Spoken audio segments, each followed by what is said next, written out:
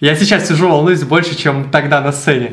Всем привет, с вами Фристайл, меня зовут Игорь Олейник. Вы очень быстро набрали 10 тысяч лайков, поэтому я не мог ждать. Я записал следующую часть. Как и обещал, в этом выпуске я рассмотрю турниры, в которых я участвовал. К сожалению, по таймингу я не смогу запихнуть все свои финалы в одно видео, поэтому давайте так, наберем еще 10 тысяч лайков под этим видео. Я запишу уже, наверное, самые интересные батлы. Это 2013 год против Такуры, там есть очень интересные моментики, например, не буду вам все спойлерить, также не забывайте подписываться на мой канал. И прежде чем мы начнем смотреть мои батлы, хочу сделать небольшое объявление. До Нового года осталось чуть меньше недели. Я хотел бы сделать некоторые подарки вам, своим подписчикам. Подписывайтесь ко мне в Инстаграм, я буду делать информационные сторис, где буду назначать какое-то место, время. Первый счастливчик, который дойдет до этого места, там я подарю разные подарки. Футбольная обувь, точнее футбольные бутсы, это еще какие-то подарки например, э, бицы. В общем, подарками вы останетесь довольны. Ссылочка на мой профиль есть э, в описании.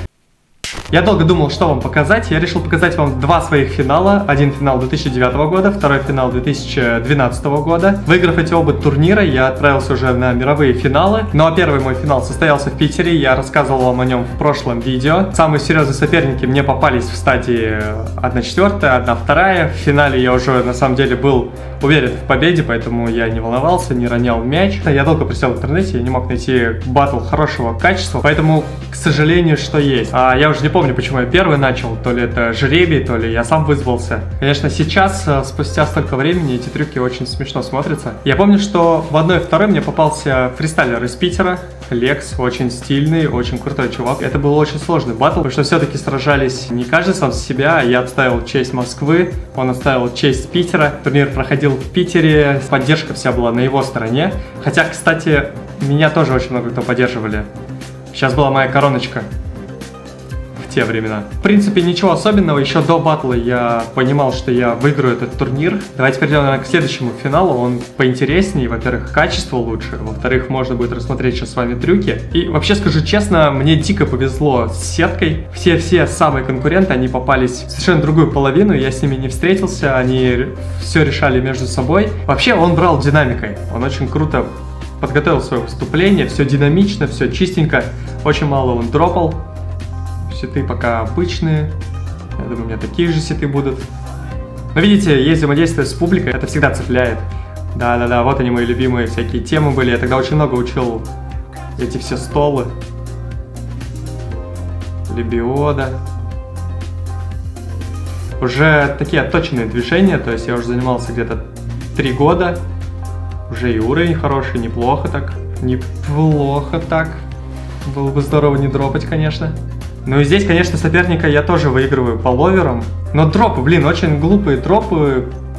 Сразу видно, что немного недооценил соперника и такой вышел расслабленный. Я на самом деле забыл, как выглядит этот батл.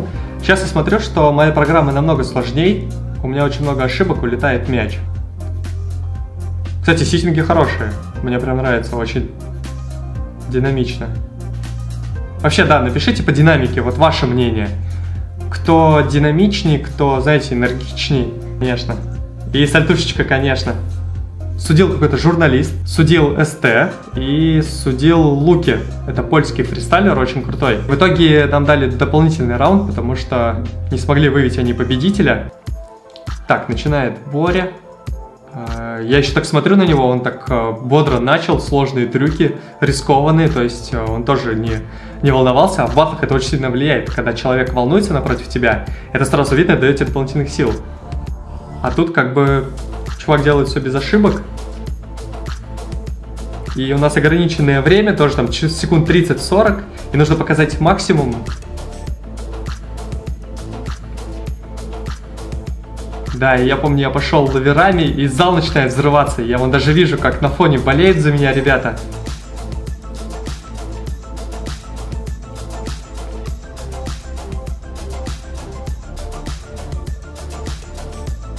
И... Да, меня прям и все стили еще получается, очень прикольно. Я сейчас сижу, волнуюсь больше, чем тогда на сцене.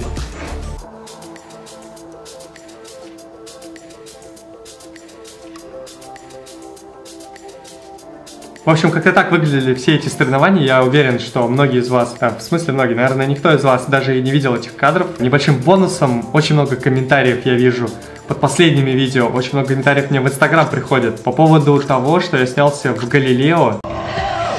Это на самом деле крутой выпуск. В этом видео слишком много недочетов. Например, там говорили про то, что мяч должен быть сдутым. Я вообще не понимаю, откуда они это взяли. Потому что каждый накачивает мяч, как ему удобно. Кому-то удобно с пущенным кому-то удобно накачанным, кому-то средней жесткости. Они сделали какую-то бешеную рекламу Монте, а по факту Монте это не самый лучший мяч. Я бы вообще не советовал вам покупать его, потому что, во-первых, это трата денег, во-вторых, он очень быстро убьется, придется выбрасывать и покупать что-то новое. Ну и в-третьих, самое главное, между батлами меня жестко задержали как раз таки на подсъемке какого-то момента. Я слышу, что меня объявляют, мне нужно бежать на батл. Я прибегаю на батл, я полностью не размят, я полностью не готов. А у меня уже стадия где-то полуфинал, я начинаю жестко сливать батл. И я чуть не проиграл турнир из-за того, что снимался в Галилео. Поэтому лично у меня такие двоякие воспоминания по поводу этой передачи. В итоге, конечно, получилось круто, я получил очень крутой фидбэк. И, кстати, не все знают, но я дважды снимался в Галилео. Есть еще второй выпуск, мы снимали его в лютый мороз. Мы уехали куда-то в Подмосковье, был какой-то бункер закрытый, и мы там снимали. Если я найду, я обязательно тоже поставлю ссылочку в описании. Тоже можете посмотреть, но, конечно, там уже получился такой посредственный качественный выпуск. Что ж, а на этом все. Напишите комментарии по поводу увиденных вами батлов, что вы думаете сами, интересно ли вам посмотреть следующий выпуск. Обязательно подписывайтесь на наш канал, мы, ну не совсем близко, но мы близко уже к 400 подписчикам. И, конечно, для меня это мотивация, если мы с вами будем расти. С вами был Игорь Олейник,